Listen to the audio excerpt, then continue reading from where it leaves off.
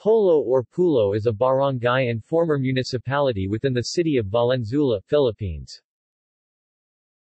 It is located in the northern part of Valenzuela, and was an independent municipality from 1623 to 1963. Polo experience extreme flood during rainy seasons.